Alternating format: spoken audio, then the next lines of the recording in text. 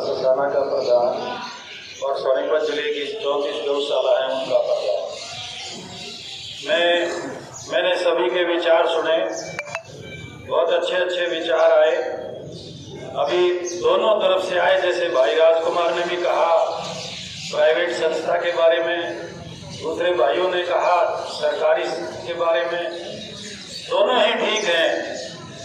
लेकिन बात यह है ना, चलाने में अगर प्राइवेट अगर संस्था है तो उसको संचालक और उसकी कमेटी बेहतर होनी चाहिए।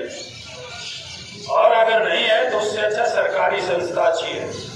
क्योंकि उसमें बच्चों की फ़ीस भी कम लगेगी और भाई कोर्सेज भी ज़्यादा आ जाएँगे।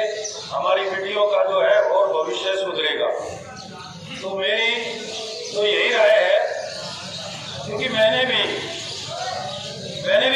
सौ रुपये दिए थे इसके लाइव मेंबर के लिए।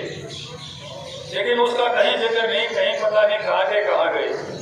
क्योंकि पहले इसके ग्यारह सौ लाइव मेंबर थे, फिर इक्यावन सौ रुपये थे और अभी ग्यारह हज़ार है। तो मैंने भी इक्यावन सौ रुपये दिए थे, लेकिन उसका मैंने अब कुछ दिन पहले जैसे आपकी चर्चा शुरू हुई तो मैंने पता किया, वो धर्मपाल जिसका नाम बता रहे हैं डॉक्टर साहब, वो कहता जी, आपका तो कहीं कुछ है ही नहीं। वो के कहाँ गए वो तो वो कमेटी जाने और ये या धर्मपाल जाने तो मेरा मेरा अपना पर्सनल विचार तो ये है कि वेद पहलवान को दिन हो और उसको जनता, समाज अगर इलाके वाले नहीं चाहते तो मैं तो यही कहूँगा कि उनको खुद आए और मेंबरशिप खोले और अपना इस्तीफा दे। और इस्तीफा देके और फिर जो भी मेंबर हो, वो अपना जिसको भी अच्छा समझे, जो भी कमेटी बनाए, वो बनाए। अब उसको ये तो अपना स्वार्थ दिखाई देता ही है जो अगर 24 साल से भी अगर उसको अभी तक नहीं पेटा भर लिया तो वो स्वार्थ तो क्लियर है क्योंकि हमारे गौशाला में अपनी बताता हूँ 1902 की है। आज तक कभी उसकी मेंबरशिप बंद नहीं की है हमने। अभी भी ग्यारह हज़ार की लाइफ मेंबर है, आज तक कभी बंद नहीं की है। और ना जब तक रहेंगे, जब तक रहूँगा, बंद करूँ।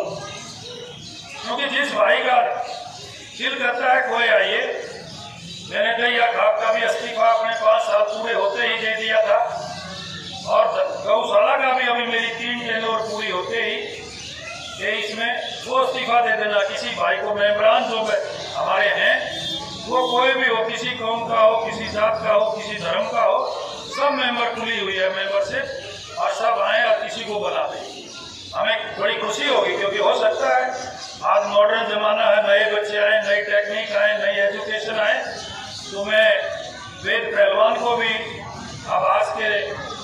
मैसेज को देना चाहता हूँ कि उस भाई को भी आए और मेंबरशिप सब के इलाके के लिए सब खोले और अपना इस्तीफा दे और जो भी मेंबरान बने उसको जिसको भी चाहे वो कमेटी बनाए और इस कॉलेज का इस बच्चियों का जो है सुधार करें।